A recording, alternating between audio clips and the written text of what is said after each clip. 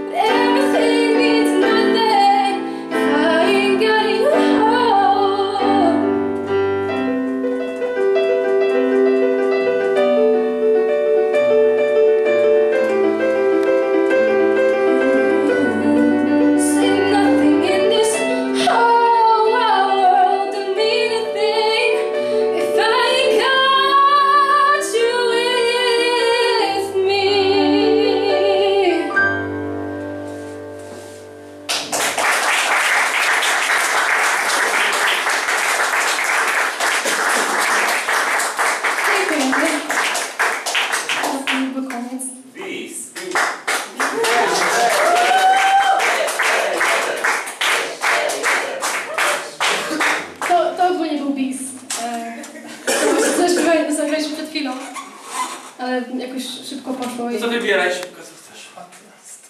Może Atlas, skoro nie skończyliśmy tego. Co? Chociaż... E. Michała cię kiedyś zabije.